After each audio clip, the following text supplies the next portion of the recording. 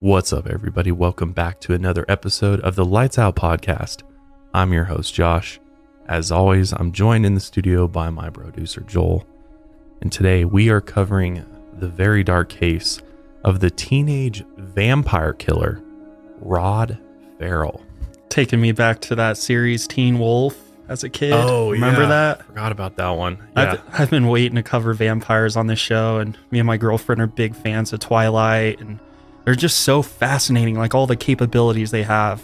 Yeah, I mean, a lot of people believe that vampires are a real thing. I mean, that it's not just this urban legend or stories, you know, passed down for thousands of years. I mean, the stories of vampires go back to pretty much the beginning of time. Yeah, And that's kind of one of the main reasons people who sort of adopt this lifestyle of being a vampire believe in it so much is because it has been around for so long and they believe that, you know, through the drinking of blood and other people's blood that you're able to gain more power and abilities. yeah, and live forever, right? yeah, Yeah. and essentially be immortal. I believe most most kind of Mhm. follow that line of thinking, but this is a story of vampire lifestyle gone very very wrong and gone down a dark path. Because I mean, vampires one of their core beliefs is that you don't kill anybody, and in this particular case, that the quite the opposite happens here. Because in the 1990s, when a group of outcasts didn't fit into the mundane religious lifestyles of the Bible Belt, they rebelled against the grain. Some more than others, but Rod Ferrell found his place among a group of teenage vampires, and he took his vampiric oath to the extreme. As he ventured down his dark path of blood, lust, and violence, he would soon become the youngest man on death row. It's not every day that you hear about a vampire killer. No, This is one of those cases that is definitely more obscure, but a rather dark one, I have Mhm. to say. And Rod is still there on death row, waiting to be executed for the crimes that he committed. But before we dive into the very wild life of Rod Ferrell and his crimes, I want to remind everybody that one way you can support the show for free is by following us on Spotify. Spotify is the premier place to enjoy Lights Out, and I encourage every one of you to just take a second, go over to Spotify, type in Lights Out, and hit that follow button for us. And now on Spotify, you can actually watch the video version of the show, which is really cool. Joel puts hours into creating the visual aspects yeah. and overlays for the podcast. I feel it's very important to make the story more immersive. Exactly. That's what we're all about here is immersive experiences, taking these stories and cases and really putting you right in the middle of them to the best of our ability. So if you wouldn't mind doing that, also subscribing to us on YouTube is always helpful as well. Um, Apple Podcasts works too, but ultimately Spotify is where it's at. And we always appreciate if you leave us a star or just a Oh, yeah. review in general. There's the reviews and ratings on Spotify now. Yeah, too. we love that feedback. So because Lights Out is continuing its reign in the top podcast in the entire United States. just makes is me smile, man. It's crazy. It's a dream. Crazy. It Yeah. is a dream. It's a total dream. We're super thankful for Yeah. the opportunity to be able to do this and bring these stories to you every single week. So join us in following and subscribing on all the platforms you find Lights Out. This episode of Lights Out is brought to you by Rothy's, Stamps.com, Babbel, and Purple. Also, if you're looking for CBD products my company Higher Love Wellness, we got the best stuff in the game for humans and pets. Check it out at higherlovewellness.com. You can use code Lights Out and get 10% off your order. But let's go ahead and dive right into the story of Rod Ferrell, the teenage vampire killer. So, Roderick Justin Ferrell was born on March 28th, 1980, in Murray, Kentucky. His mother, Sandra Gibson, raised him, but he barely knew his father, Rick. His mother and father had actually met in high school and dated for a year and a half before becoming pregnant with Rod. They quickly got married, but things didn't work out after a year of marriage, so they got a divorce. Sandra was only 16 years old at the time when Rick left, and she was still pregnant with Rod when he joined the military. As Sandra raised her son by herself, she struggled with mental illness and occasionally worked as a prostitute in order to make ends meet. She would also impulsively date and marry random men. So much of Rod's childhood was very unstable, and his family moved around quite a bit. He once wrote in a school essay that his mother was a monster when she was angry, but despite this, he still loved her. To add to his complicated childhood, he claimed he was molested by his grandfather at a young age. He also claimed that he saw human sacrifice during a vampire ceremony when he was just five years old. By the time Rod was 12 years old, he directed his trauma towards an obsession with the darker side of life. He noticed his mother had an interest in vampires and her hobbies influenced his early years. Sandra first introduced him to a role playing game called Vampire the Masquerade. It's a game set in a gothic punk version of a modern world.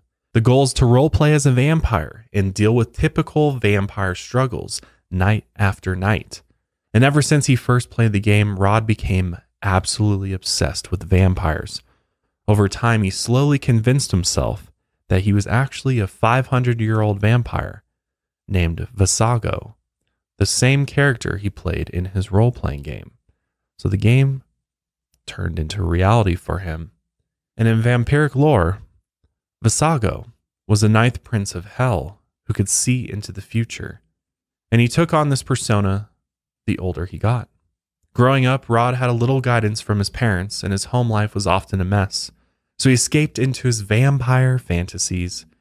He played vampire games, read vampire books, and watched vampire movies whenever he could. And since he had limited outlets in Murray, Kentucky, he began collecting various weapons and terrorizing neighborhood cats in his free time. And it wasn't long until he turned his violence towards himself. One night, his mother walked into his room and saw Rod had taken a razor blade and cut himself from his lower stomach all the way to his throat. He was fascinated by how the blood looked when it seeped from his skin and ran down his body. This obviously horrified his mother, and she didn't know what to do. Soon after, she began finding hard drugs in Rod's bedroom, and she realized she was in way over her head.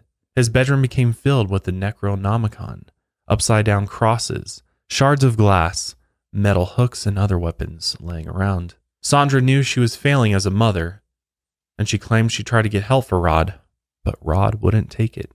So when he was in his teens and his mother couldn't take care of him, Rod went to live with his friend Jaden and his family for several months.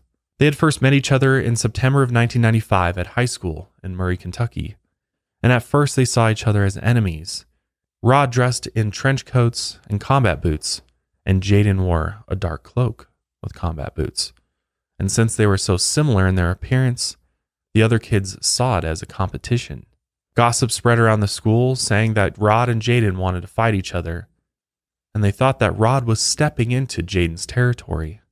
Jaden was already the leader of a tight knit group of teenage vampires. They were social outcasts that met up on the weekends in order to act out dark fantasies, like blood hunts. Rod initially saw them as freaks, but in a good way, because they were like him. They wore long hair, makeup, trench coats, and it made them different, and Rod was drawn to that. He expressed himself in the same way. So Jaden and Rod soon became friends and they saw a lot of similarities in each other, especially in the darker side of the soul, as Jaden would say. And he became the first to introduce Rod into the vampiric way of life. But early on, Jaden saw Rod letting his darker side take control.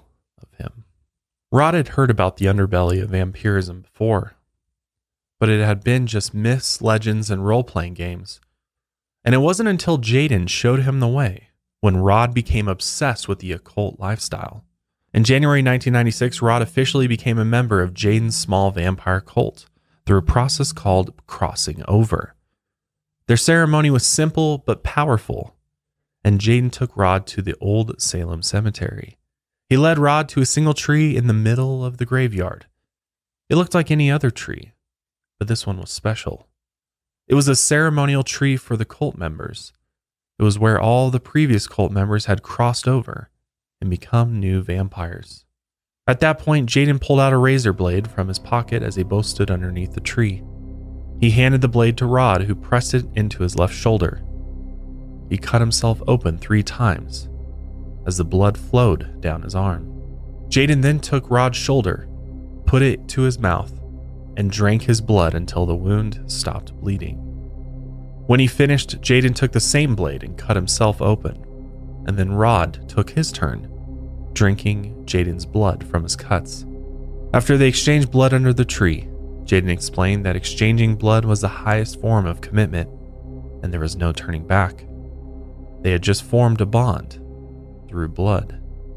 Rod was now a part of something bigger than himself, and after the ceremony, they ended up sitting in meditation for the next few hours before heading home.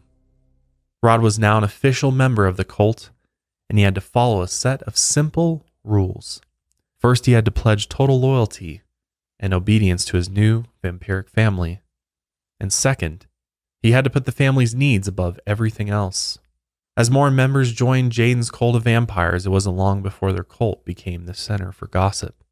Everyone else at school heard rumors about the blood drinking, the drug taking, and sexual rituals. And soon, Rod and Jaden would become infamous in the small town of Murray, Kentucky. As they walked down the streets, the religious neighbors would scoff and shake their heads at the boys who dressed in all black and wore upside down crosses around their necks. So you may be wondering, where is Murray, Kentucky? Well, Murray, Kentucky is in the Bible Belt of America and this particular town is known to be located in the belt buckle of the Bible Belt. If you're unfamiliar with the Bible Belt, it's the area of the southern and midwestern United States where the Protestant religions are extremely popular. Protestant religions include the Baptist, Presbyterian, Lutheran, Nazarene, and religion is so popular in Murray that there is one church for every 300 people who live there. And since Murray, Kentucky is heavily influenced by religion, it's an alcohol free town. It's also home to the National Scouting Museum, where many people go to retire and settle down. But the town isn't known for its moral decency or wholesome activities. It's now known for Rod Ferrell and the cult of vampires who live there. They were social outcasts who wanted to break the usual way of life in Murray. Many of the members that joined the cult were from similar backgrounds. Many came from poor rural families who didn't have many outlets for their differences. So they found each other and they began practicing their vampire rituals in their parents' basements or abandoned buildings out in the woods, while the rest of the town held on tightly to the Protestant religions. They saw these vampire teenagers as godless degenerates. But the vampires took that as a compliment. They followed their own set of rules different from what the Christian church taught. According to the cult members, vampire law forbids murder. The cult acknowledges that human life is sacred, but they also believe that drinking human blood is the only way to achieve immortality. Cult members have described drinking blood as orgasmic. They get a thrill from drinking someone else's energy and feeling it flow through them. They compare the feeling to getting drunk or getting high. And when skeptics tell them it's only a psychological feeling, the cultists disagree. They believe there is a physical transformation in the body when they drink blood. Along with the ritual of drinking blood, the members also have sires, which are their elders in the group. They also obtain different family names when they join vampirism. Scott, Stephen, Vanessa, and another Stephen took on the names Gabriel, Jaden, Angelique, and Raven. Many of them were related by blood or sexually intimate together. Rod had spent countless nights performing deviant sexual acts with the other girls. And because of their sexual progressiveness and drinking blood, they saw themselves as a superior race on this planet, saying that they were a higher form of evolution than everybody else. They also believed their abilities went above and beyond what regular people were capable of. They claimed they had supernatural powers or could even read people's minds. Rod and Jaden both loved the lifestyle but they began seeing things much differently. Just as they had become great friends, Rod showed Jaden his true colors.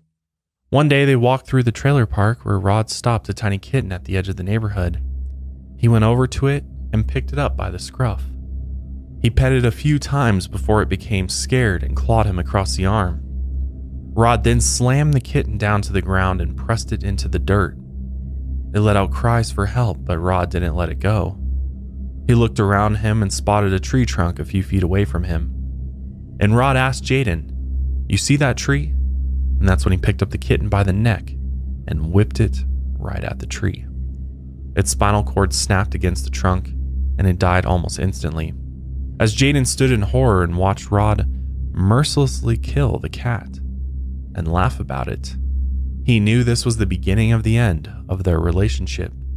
Jaden had enjoyed the darker side of life as much as any of his other friends, but Rod had now taken it too far. Jaden wasn't interested in hurting helpless animals, but for Rod, he hadn't taken it far enough.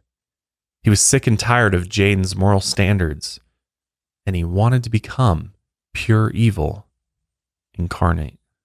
Only a few months after that kitten incident, a local tragedy struck at a nearby animal sanctuary, and the local sheriff thought Rod was involved. On the night of October 13, 1996, a group of people had cut open the chain link fence that led into the sanctuary. The dogs barked at the intruders, but no one else heard the commotion. The intruders went by each cage and unlocked the doors. The bigger dogs were let free, but the puppies had been captured and taken into the field next to the sanctuary. And what happened next would shock and sicken the entire town of Murray, Kentucky. The intruders began cutting off the limbs of the small puppies. Other times they slit their throats or disemboweled them, and as the blood poured, they held up the dying puppies over each other and let the blood drain all over them. They then bathed in the blood and they drank it too. And once the ceremony was over, they took the remaining puppies and smashed them into the ground until they were dead. And by the following day, one of the animal sanctuary workers arrived at the scene and noticed that all the older dogs were roaming around the driveway. It wasn't until she looked around the sanctuary that she found the dead puppies scattered just outside of the broken fence. Their remains were drained of blood and thrown across the field. Some had their heads, legs, or intestines missing. At first, it looked like a wild pack of wolves had broken into the sanctuary, but the footprints and the cut open chain link fence told a different story. The local sheriff never figured out who broke into the shelter, but many suspected that it was Rod and a few of his vampire friends who did it while they were out on a blood hunt. And as the violence against animals continued, Rod and Jaden's friendship began to collapse. One night, Jaden and a friend named Bones arrived at Rod's mom's house. They got out of the car and walked up to the front porch. Rod saw them approaching, so he went outside to confront them while his mom watched from the screen door. Tension had already been growing between Jaden and Rod, and that night it would finally climb to violence. During their brief conversation, they both threatened to kill each other, and Jaden ended up grabbing Rod by the throat and pinning him up against his house. As Jaden gripped him tighter around the throat, Rod's face began turning blue. Realizing he might kill him, Jaden let him go, and Rod's mother screamed from the doorway. She told Jaden that he had an obsession with controlling Rod, but Jaden looked up at Sandra and told her that no one could control her son, not even her. Rod pushed Jaden away and threatened to kill him if they didn't leave the property. So they did. But after this, their friendship would never recover. After this incident, Jaden's vampire family banished Rod from the group, and Rod, well, he began taking as many drugs as he could, including marijuana, LSD, occasionally PCP, meth, and heroin. And now that he had lost his old social crew, he had to make new friends and start a new vampire clan. He had met a boy named Michael Schaefer in the old vampire clan. Rod had helped him cross over and join the cult. So he reconnected with Michael, and the two of them started a new group. Rod had a way with words, and many thought he had a good sense of humor. So many outcasts were drawn to him, and in time, new recruits joined their clan. Charity Casey, Rod's girlfriend at the time, was 16 years old. Dana Cooper was 19, and Scott Anderson was 16. They had all come from dysfunctional families, and they had found a sense of belonging in Rod's cult. Each saw Rod as their new vampiric leader, and they pledged total loyalty to him. Like the others, Scott came from a rough household. His father was an alcoholic and his family was extremely poor. He lived in a small shack where they used black trash bags as curtains, and he worked at the local McDonald's at minimum wage. After he met Rod, they became close friends, and Scott quickly became Rod's right hand man. Rod told Scott to dream big and let his imagination take him outside of the life he was currently living. After Scott met Rod, he finally felt like he had a purpose in life. When they all hung out together, they would fantasize about killing people, but most of them just did it for fun. They weren't actually serious about murdering anyone, but for Rod, that fantasy slowly drifted into reality. Unknown to the rest of the crew, Rod had been in contact with an old girlfriend named Heather Wendorf. She had lived in Eustis, Florida with her sister and her parents, but as time went on, Heather's relationship with her family deteriorated. And as he kept listening to the terrible things she said about her family, Rod felt like he had to do something about it. You know, it's funny. There are all these gimmicks that promise a great night's sleep. I don't care what kind of toppers there are or how heavy a blanket may be, it's lipstick on a pig. If you're sleeping on a terrible mattress, your sleep will be terrible. It's that simple.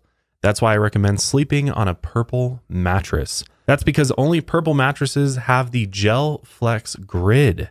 The Gel Flex Grid is amazingly supportive for your back and legs while cushioning your shoulders, neck, and hips, no matter how you sleep. Unlike memory foam, which remembers everything, thanks to the Gel Flex Grid, purple mattresses bounce back as you move and shift, and you'll never have that I'm stuck feeling people get with memory foam. I got the purple hybrid mattress, and I got to say, I absolutely love it. The responsive support coils and cushioning transition foam allows for greater airflow and provides a more dynamic response than all foam beds. It also increases the durability of the mattress. My absolute favorite thing about purple mattresses, though, is the fact that air flows through it, unlike other all foam beds, where it just is so hot by morning, you're sweating, your bed's covered in wet, moist sweat, and it stinks. But with purple mattresses, you wake up feeling refreshed after a great night's sleep, and there's not an ounce of sweat anywhere. Getting a great night's sleep starts with having a great mattress. Get a purple mattress. Go to purple.com slash lightsout10 and use code lightsout10. For a limited time, you can get 10% off any order of $200 or more. They've got pillows too, folks. That's purple.com slash lightsout10 and use code lightsout10 for 10% off any order of $200 or more. Purple.com slash lightsout10. Use promo code lightsout10. Terms apply. For most of us, learning a second language in high school or college wasn't exactly a high point in our academic careers. I know that was the fact for me. I kind of dreaded going to Spanish class mostly because I felt like I didn't really learn anything. And all the assignments were super boring. It was a lot of writing instead of speaking. And what's the point of that for most of us? Most of us just want to be able to speak the language and understand it. But now, thanks to Babbel, the language learning app that's sold more than 10 million subscriptions, there's an addictively fun and easy way to learn a new language. Whether you'll be traveling abroad, connecting in a deeper way with family, or you just have some free time to kill, Babbel teaches bite-sized language lessons that you'll actually use in the real world. I've been using Babbel to start learning Spanish again, and I got to say, with Babbel's 15-minute lessons, it makes it the perfect way to learn a new language, both on the go as well as in that 15 minutes I spend in the bathroom in the morning. Their teaching method has been scientifically proven to be effective, and with Babbel, if Spanish isn't it for you, you can choose 14 other languages out there, including French, Italian, and German. Plus, Babbel speech recognition technology helps you improve your pronunciation and accent. Right now, when you purchase a three-month Babbel subscription, you'll get an additional three months for free. That's six months for the price of three. Just go to babbel.com and use promo code LIGHTSOUT. That's B-A-B-B-E-L dot com with code LIGHTSOUT. Babbel is language for life. Heather Wendorf's family was completely different than her, and they struggled to get along. Her sister Jennifer was a regular teenage girl in Eustis, Florida. She was a cheer team member and she had recently gotten a new car that she loved. She was intelligent and pretty, and she had a scholarship to go to Florida State University. Her parents, Naomi and Richard, were typical suburban parents. They were known by their neighbors and friends as a nice family. Richard worked as a warehouse manager for a bottling company, and Naomi, who preferred to go by Ruth, was a stay at home mom, and she often volunteered at her daughter's school. From the outside, the Wendorfs looked like any other family in the neighborhood. But their daughter Heather was always known to be a bit different. She was more of what you would call a free spirit compared to her sister, and she developed a rebellious personality in her teenage years. She wore grungy, loose fitting clothing and often dyed her hair black. She also expressed herself through artwork that often depicted dark creatures and disturbing images. Her teachers remembered her wearing a hangman's noose from her backpack at school, and from the noose, a Barbie doll hung by the neck. She liked to stroll around school showing off her trophy of death, and at home, she often got into fights with her parents, to the point where Ruth and Richard didn't know what to do with her. They had watched their daughter turn into an angry, depressed girl that was out of control. They had no idea why, but they suspected that the people she hung around were a bad influence. Heather first met Rod Ferrell when they were sophomores at Eustis High School. Rod had moved to Eustis for a short time because his mother had found a new boyfriend and married him. So Rod always had to move with her since he was a minor. In Eustis, Rod and Heather quickly became best friends, and they would often spend their late nights out at local cemeteries. They would also sneak into mausoleums and end up staying there way past their curfew. When they were at school, Rod would always wear a black trench coat, even in hot summer days when temperatures would get above a 100 degrees. And Heather liked this about Rod. He was different, and he acted like he didn't give a shit. Around the neighborhood, he would show off his martial arts skills, and sometimes he would bring out his weapons. When Heather's sister Jennifer confronted him and asked him why he liked his sword so much, he responded, You don't see many cats around here, do you? Which Jennifer was disgusted by the answer. But Heather loved how dark and edgy Rod was when they were teens. They became close and started dating soon after. But Rod eventually moved back to Murray, Kentucky with his mother because her last relationship had fallen apart. From then on, Heather kept in contact with Rod over the phone. They spent hours on the phone together talking about each other's lives, and they stayed in touch as often as they could.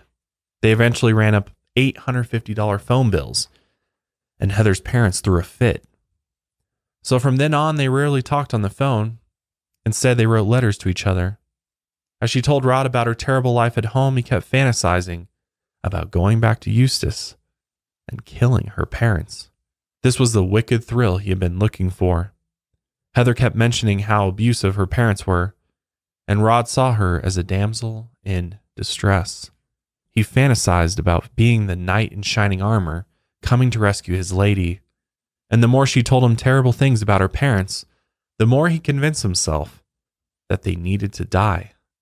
No one knows for sure what was going on in the Wendorf household, but according to Rod's friend Scott Anderson, he believed that Heather was being sexually abused by her father, and her mother knew about it but did nothing.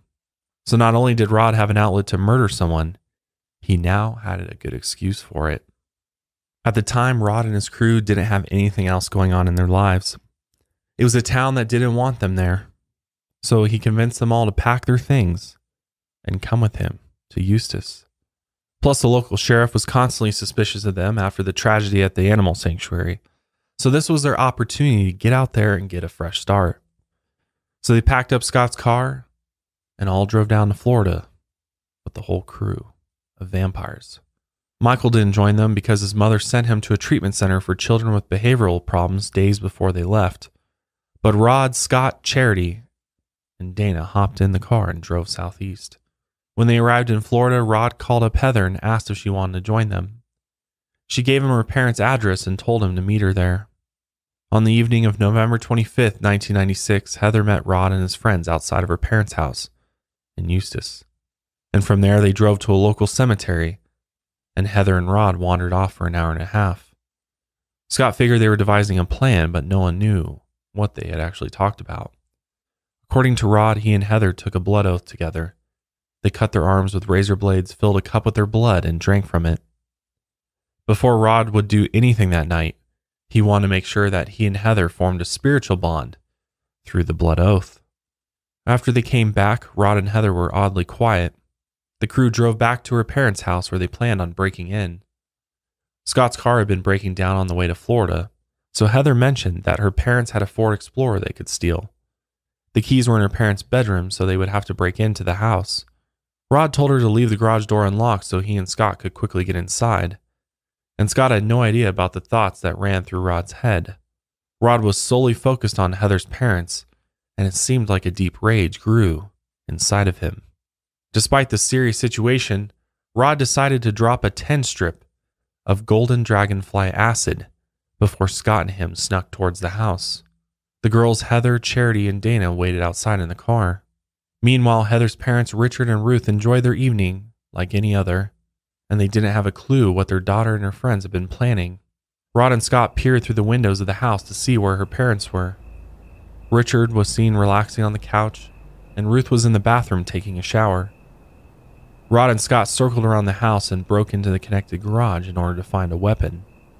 They also noticed the blue Ford Explorer parked inside, and they both agreed that they should take it if they could find the keys in the house.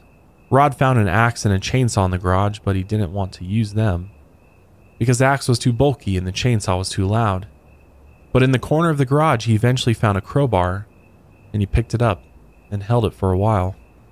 The acid was slowly kicking in, and he felt the crowbar's weight and gave it a few practice swings. He figured it would make a perfect weapon to bludgeon someone to death with. In the garage, they both agreed that Rod would go in after the father, and Scott would go after the mother. They continued through the garage, passing a small washroom until they entered the house. The door was unlocked, so they decided to just walk right in. The TV in the living room blared at full volume, and Richard hadn't noticed the noise Rod and Scott made as they entered. Scott searched around the house looking for the bedroom where the car keys were, but Rod had other plans. He slowly snuck into the living room and got behind Richard. He crouched behind the couch and waited a moment. Scott froze in the hallway looking at Rod. He watched as something shifted inside of him. It was like something had taken control of Rod and there was nothing that he could do. Rod looked down at the man on the couch. His eyes widened and he gripped the crowbar tightly in his hands. The acid had fully kicked in. Richard's head looked ripe and helpless beneath him. It was a perfect spot to drive the crowbar into, but Rod hesitated for only a moment, and Richard sensed someone was in the room with him. As Rod drove the crowbar down into Richard's head, blood spattered across the couch, curtains, and lampshade. A surge of blood also shot back towards Rod and covered his clothes. Scott just stood there, frozen in shock, as Rod clobbered the man to death. This robbery had just turned into a homicide. And as Scott watched his friend murder the man in cold blood, he knew he didn't have it in him to kill the mother. He had never seen someone die before, and he couldn't handle it. After Rod made sure that Richard had stopped breathing, he pushed past Scott. He began searching the house for the keys to the Ford Explorer. But as he walked into the kitchen, Ruth caught him. She had a cup of hot coffee in her hands, and she immediately tossed it at Rod's chest, burning him. She then lunged towards him and clawed at his face with her fingernails, and she grabbed Rod's wrist with her other hand. But Rod fought back as hard as he could. As they wrestled in the kitchen, he took the long end of the crowbar and spiked it down into the top of her skull. A loud crack came from her head and she fell down towards the floor. Rod kept bashing away, spiking her in the back of the skull until she laid completely flat on the ground. He kept pounding away at her head with the crowbar until she stopped moving and by the end of his rage, a giant hole had caved into the back of her head. Rod's clothes were soaked in blood and hot coffee, and red smears of blood covered the entire kitchen. After he made sure she was dead, he went into the bedroom, snagged a pearl necklace and an antique hunting knife, and the keys to the Explorer before heading back outside. Scott followed him blindly while still in shock. The girls watched as Rod came out of the garage door soaked in blood. An awkward smile crossed his face. Veins bulged from his head and his neck. With no hesitation, they got into the Explorer with him and drove around the corner. After a few blocks, they got out of the car and swapped the tags with Scott's car, and within minutes, they were heading down the road. Rod left two innocent victims in his wake, and a shameless smile crossed his face as his darkest fantasies had finally become a reality. He laughed and screamed in the car while the adrenaline and LSD rushed through his bloodstream and the rest of them stared in horror. Jennifer Wendorf drove home around 10 p.m. that same night. She was way past her curfew, so she had to sneak into the house and get past her parents in order to avoid getting into trouble. As she quietly cracked open the front door, she entered her dark living room, and that's where she saw her dad lying on the couch. The TV was on at high volume, and it looked like he had fallen asleep while watching.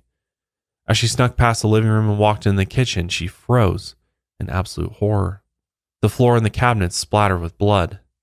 And as she looked across the tile, following the trail of blood, her mother's body was sprawled on the floor, laying on her stomach.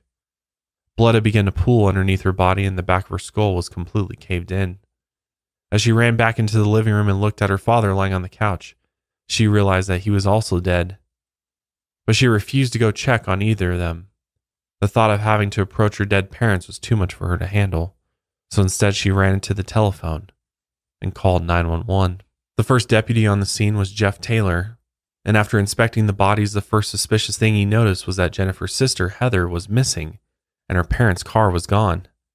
As they searched the scene, they saw that the mother's head was bashed in so hard that fragments of her skull were found in the next room over.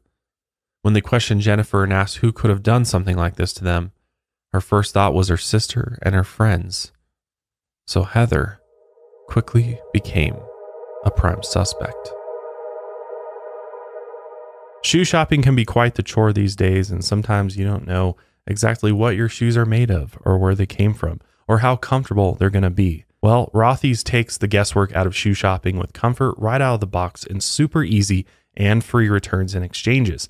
From the unbeatable comfort to the fact that you can wash them, which is my favorite thing. I mean, I love going out in the yard. Occasionally, I step on dog poop, and when the sink doesn't cut it, you can actually throw these puppies in the washing machine and dryer and have them clean when they come out. People magazine actually named Rothy's The Point the best flat shoe for their first ever Style Awards 2021. The point and the flat from Rothy's may be the usual suspects that you've heard of, but they also make insanely comfortable sneakers, loafers, ankle boots, and more. I got myself a pair of the Merino Chelsea boots, and honestly, when I got them, I was pretty surprised for boots being made out of water bottles. They are super durable and super comfortable. I love the fit of the actual boot itself, and I loved how light they felt on my feet. I also can't get over the fact that you can wash them. That's super, super nice. And the durability of it, I can tell that it would take a huge beating in order to rip these guys apart. But they are going to last you a very, very long time. So solve the case of your next favorite spring shoe with Rothy's. Plus get $20 off your first purchase at rothys.com slash lights out. That's $20 off at R-O-T-H-Y-S dot com slash lights out. And our last sponsor for today is stamps.com, a company I've worked with for a very long time and one that I use personally in all of my businesses. Time is money, so don't waste either with repeated trips to the post office. I haven't had to go to the post office in probably like five years now since I've been using stamps.com. It allows me to focus on all the other millions of things that I have to take care of for my businesses as well as all of my shows. Stamps.com lets you print official postage right from the computer and saves you money in the process so you can spend less time at the post office or no time there and more time making your customers happy. For more than 20 years, stamps.com has been indispensable for over a million businesses, including Higher Love Wellness. We use stamps.com for all of our postage to get our packages to our customers. Stamps.com gives us all the access of the post office and UPS shipping services we need right from our warehouse computer, which is really nice. We don't have to get any special equipment. We have a scale, we have a regular printer, and we're able to just print postage like there's no tomorrow. And I get discounts up to 40% off USPS rates and 76% off UPS rates, which is absolutely amazing. Save me thousands and thousands of dollars. So stop overpaying for shipping with stamps.com. Sign up with promo code Lights Out for a special offer that includes a four week trial, free postage, and a digital scale. And there's no long term commitments or contracts. Just go to stamps.com, click the microphone at the top of the homepage, and enter code Lights Out. Police soon found an abandoned car in Seminole County, Florida. It had Richard Wendorf's tags from the Ford Explorer on it, but they were obviously on a different vehicle. The VIN number of the car they found was registered to Rod's friend, Scott Anderson. So now they knew they were looking for an Explorer that had Scott's tags on it, and they also had the name of a suspect. The police didn't know where the group of teens were headed, but Rod's plan was to take everyone to New Orleans. He called it the City of Vampires and believed they could start fresh without judgment. But the car ride to freedom wasn't at all what they had expected. The rest of them sat in horror and confusion as Rod screamed and laughed while he was still covered in blood, and Heather cried with heavy, grating sobs, knowing that her parents were dead. But Scott didn't know if she was serious or just putting on a show. And as they kept driving towards New Orleans, they made several stops along the way. Rod had changed his clothes in a gas station and threw away the clothes covered in blood. They filled up on gas and food and started their long road trip to New Orleans. After a few days of traveling, Rod became more and more paranoid that the police were close to catching them. They had been pulled over five different times on their road trip, but Rod was able to talk his way out of the situation each and every time. The police had no idea they were talking to the murderer that had caused a nationwide manhunt. But after every encounter with the police, Rod became more anxious. So he decided to take a detour to Baton Rouge. While they were in Louisiana, Rod took a brief stop went down to a nearby waterfront and tossed a bloody crowbar into the Mississippi River. From there, they got back into the car, but they were running low on money, food, and gas. Charity, Rod's girlfriend, mentioned that her mom might have some money they could borrow. So after thinking it over, Rod allowed her to call home. When she made the call from a local payphone, her grandmother picked up. She was worried about Charity and asked where she was. And as she begged her grandmother for money, her grandmother agreed and told her to meet them at Howard Johnson Motel in Baton Rouge. Her family would meet her there and give her some cash. After she hung up and told the crew, they were relieved that they finally had a supply of money coming their way. But they didn't realize that they were walking into a trap. Charity's grandmother had been in contact with the police, and on November 28, 1996, they set up a sting operation at the Howard Johnson Motel. As the crew pulled up into the motel parking lot, the police were already waiting for them. As soon as Scott cut the engine to the car, several squad cars with flashing lights surrounded them. At that point, they were arrested and they were taken back to the police station and put into holding cells. But Rod and Charity didn't seem worried about their current situation. They're actually caught on holding cell cameras passionately making out with each other. And soon after, the teens were extradited to Florida, where the real interrogations began. Heather quickly claimed that she had no idea that Rod was planning to kill her parents. I remember telling him flat out, don't even go near my parents. Why would you tell him not even to go near your parents? Because he asked me not too long ago if I wanted my parents dead or alive, and I said straight out I wanted them alive. When did he ask you this? On Monday, Monday after school. So on Monday after school, he talked to you about killing your parents. Yes, and I said no. I said I wanted him to leave them alone. During Rod's questioning, he said he felt like he was in a dream and he could wake up at any moment. Police wondered if he was high on drugs. After the questioning went on, Rod eventually confessed to the murders, hoping that police would let the rest of his friends free. But that wasn't going to happen.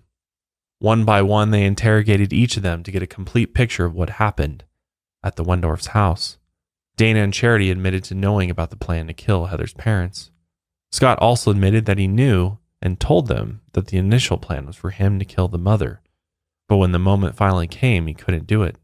By the end of the interrogations, they charged Rod with armed robbery, armed burglary, and two counts of first degree murder. Local media swarmed around him, and his story of being a vampire quickly became a spectacle for the entire nation. The case had disgusted everyone, especially his religious neighbors back home in Murray, Kentucky. Once the news began reporting on the blood drinking, the drugs, and the murders, everyone across the U.S. were disgusted, but also intrigued by the vampire cult and it didn't take long before people began suggesting that the possibility of a death sentence for Rod would be a real thing, even though he was just a teenager. Rod's trial began in early 1998, and it was actually at trial that Rod actually met his father again. He was only in court for one day and he didn't speak to Rod at all. While on the stand, Rick would only mention Rod as the child, and he would never use his son's name. Later that day, Rod went back to his cell and cried and some say this was one of the only times Rod had ever been seen crying. His trial continued and he initially pleaded not guilty, but as the evidence stacked against him, his lawyers had to change strategy. Because on February 12, 1998, Rod pleaded guilty, hoping that he wouldn't get the death penalty. After all, he was only 16 at the time of his crimes, so there was a lot of controversy surrounding the death penalty sentence for a juvenile. His attorneys also argued that Rod was insane he had been previously diagnosed with schizotypal personality disorder and Asperger's, so they tried to use that to their advantage. Experts at the University of Florida also testified that Rod sometimes saw spiritual things, like angels and demons, but in the end, it wasn't enough. Rod was convicted of the murders, and the judge sentenced him to death. It is hereby ordered and adjudged Roderick Justin Ferrell for the murder of Richard Wendorf you are hereby sentenced to death. It is further ordered and adjudged Roderick Justin Ferrell for the murder of Naomi McQueen. You are hereby sentenced to death. Scott Anderson was convicted as a principal in the first degree murder, and he was sentenced to life in prison. Even though he didn't physically commit the murders, he was present when they happened, which was enough to convict him in Florida. He also pleaded guilty to avoid the death penalty. As for Charity, she was convicted of two counts of third degree murder robbery with a deadly weapon, and armed burglary. She was sentenced to 10 and a half years in state prison. Dana was convicted of the same charges, but she was given a seven and a half year prison sentence. Meanwhile, Rod's mother, Sondra Gibson, was convicted of a separate crime. She had tried to have sex with one of Rod's friends who was only 14 years old during a vampire ceremony. She ended up pleading guilty. As for Heather Wendorf, she was never charged with a crime and was let free. The state attorneys decided not to prosecute her, but Sheriff George Knupp was disappointed in their decision. He thought that she was the motivation behind the murders. Scott also believed that she was the mastermind behind the entire operation especially when she and Rod went out to the cemetery talking for hours before going back to her parents' house on the night of the murders. Still, a grand jury believed she was never a part of the murder plot, and she was never convicted of a crime. After the convictions, the few members of the cult left continued to practice vampirism in Murray, Kentucky. And as Rod sat in prison, he still considered himself a vampire. Most of the vampire cultists had left Murray, Kentucky, but Jaden stuck around, recruiting new vampires for years after Rod's conviction. The vampire cult continued to be seen as pure evil by many of the locals, and even Jaden's mother condemned it.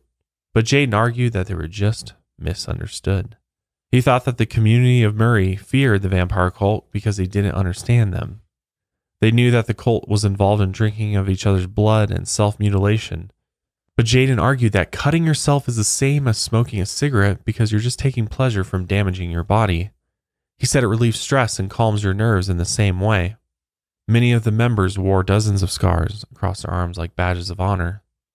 And regardless of everyone else's opinions of their practices, Jaden and his friends kept the vampire cult going for years. Many of them didn't have any direction in life after high school, so they spent their time hanging out in basements and inviting local teenagers to join them. They went back to role playing dark fantasies and drinking each other's blood in the shadows. And they still thought about their old friend Rod from time to time, but most of them had disowned him. For Rod's first two years in prison, he held the record as the youngest inmate on death row. Rod admitted that he always fantasized about going to the electric chair since he was nine years old. But in November of 2000, the Florida Supreme Court reduced his sentence to life in prison. Ferrell was 16 when the killings took place, but was sentenced to death. He was spared from execution by a state Supreme Court ruling against condemning juveniles, and the nation's high court has ruled life without parole for juveniles is cruel and unusual punishment. The state of Florida doesn't often grant parole, so he was never given the option. As for the others, Charity was released in March 2006 and Dana was released in October 2011. Heather went on to live with her attorney's family and soon disappeared from the spotlight. She no longer speaks to her sister Jennifer, and she was last seen selling her artwork in a small gallery in 2007. On December 3, 2018, Scott Anderson was able to get a resentencing hearing, and his sentence was reduced from life to 40 years, and he'll actually be released in 2031 at the age of 51. As for Rod, though, he is still serving life without parole. But recently, the Supreme Court decided that life without parole is unconstitutional for minors. Plus, in 2020, the Florida State Supreme Court said that all juveniles who have been sentenced to life without parole must be resentenced. Since he committed the murders when he was 16, there's a possibility that Rod might have his sentence commuted. If that happens, he says he has a girlfriend, a house, and a job waiting for him if he does ever get out of prison. He believes everyone deserves a second chance, but many hope he stays behind bars the rest of his life for what he has done. Today, Rod Ferrell's crimes still send a shockwave through the people of Murray, Kentucky. Even though the murders didn't take place there, the religious people of the Bible Belt struggle with their reputation and their own faith. Rod had left a permanent mark on the small religious town. They've had trouble understanding how someone so disturbed and vile could have come from a place so dominated by the Christian faith. But many don't believe Rod's actions had anything to do with God or the vampire cult. Like Jaden said all those years ago, no one can control Rod. He looked for any reason to hurt animals and kill people. Neither God nor his vampiric oath were going to stop him from doing that. His early childhood of living with an unstable mother, his lack of a father, his molestation, his social crew, and his thirst for blood and violence all led him down the path of darkness. While his charisma and his gloomy charm attracted other young teens to follow him down that path, many of them are still paying for it to this day and possibly for the rest of their lives. Wow. I think it was definitely about more than just vampires for Yeah. Rod. I think it got to a point where he just straight up wanted to be evil. He liked the power that it gave him Absolutely. and the fear that it created from everybody else. I feel like he gave the, the vampire cult or just vampires in general a terrible rep. And the things that he did are just so fucked up, not only killing human beings, but Animals too. animals as well Yeah. and torturing them. And um, he's, he's just such a fucked up person. I think he I think he really wanted to one up Jaden too. I think he Yeah. felt like Jaden it was uh, like it was really his rival and I think he wanted to be even more powerful than Jaden Mhm. and the way to do that was to embrace the darkness within and truly become evil Yeah. and commit murder which killing humans is you know not a part of vampiric law but he didn't care at that point No. it, it wasn't about vampires for him anymore it was just about being pure evil Yep. and as a result both of heather's parents lost their lives in most brutal way possible Mhm. And lots of innocent animals. yeah i mean it's just it's sad because i think there's obviously a lot of factors from rod's childhood and when you watch those interviews of him in prison i think you really get a sense of just how dark his his head is. I mean Mhm. just his mindset is just so messed up and you know all the things he experienced growing up. And obviously when you start doing things like that to animals it's only going to twist you even more in the wrong direction. And i think he just got to a point where he literally didn't give a shit. He just Yeah. didn't, didn't care. He didn't care what happened to him. I mean he's literally looking forward to the electric chair. He's looking forward to experiencing what death is like through the electric chair. And that's just how dark this this individual is at this point. And it's it's sad. I mean it's sad all the way around at 16 years old to commit murder and and throw your entire life away is just it's i don't even i don't even know what words there there is Yeah, to describe same. that i mean it's rough being a teenager for sure. And i mean it's especially in circumstances like that and i understand being in a, a town where you know everybody's religious and everybody's judgmental and everybody's kind of looking at you funny because you decide you want to live a different lifestyle. I mean, I saw that firsthand. I mean, Joel and I grew up in a small town and there was definitely Yeah. definitely people there that were gothic or you know wore black and things like that and they definitely I mean, they got bullied, they got Mm. picked on and just you know called all kinds of names because they're different Yeah. and i think it's just sad that kids and teenagers especially just aren't more accepting of each other and just realizing that it's okay to be different and be into different things and Yeah. like just because it looks weird to you and and maybe you know you go to church and your pastor's saying that that's like you know those people are evil or embodying evil doesn't mean that the people are evil No.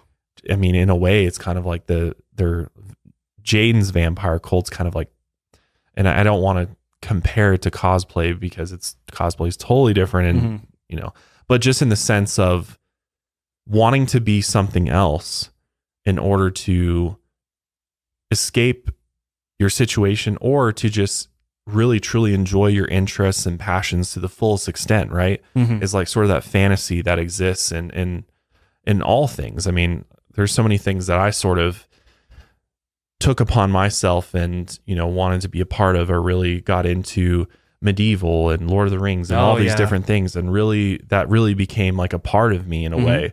Well, it became a part of us. Yeah, We we got matching Lord of the Rings brothers tattoos. If we do. If you guys we do. know. We do. We got the inscription of the One Ring yeah, on us. we uh, grew up on that. Yeah, I mean it, it's the same kind of thing, and and other other people find other things to sort of bring themselves together and create that family atmosphere, especially if you don't have a family at Right. home and you don't have a, a stable place to live, and it's really rough, or you have abusive parents. Like I totally get this this you know feeling of I need to belong somewhere. So if it's not with my family, then I'm going to go find it elsewhere, and that's where people rally around common interests and Yeah. form these groups and you know you could call it a cult or you could call it just a friend group i mean it seems like as far as jaden's group goes and i mean i don't necessarily agree with drinking human blood Ugh, from each other or cutting yourself or anything Hell like that no. but it's like they did that to feel a part of each other and feel like a family and